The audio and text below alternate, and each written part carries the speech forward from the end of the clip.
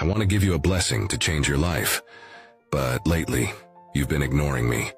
I've been trying to talk to you for a while, and all the signals I've sent you have gone unnoticed. This is the way I found to communicate with you, and as soon as this video ends, you will instantly feel the presence of God. Try it, and you'll see the power that the Word has. At this moment, I am filling every corner of your home with all my love and light so that any evil that may be close will be driven away.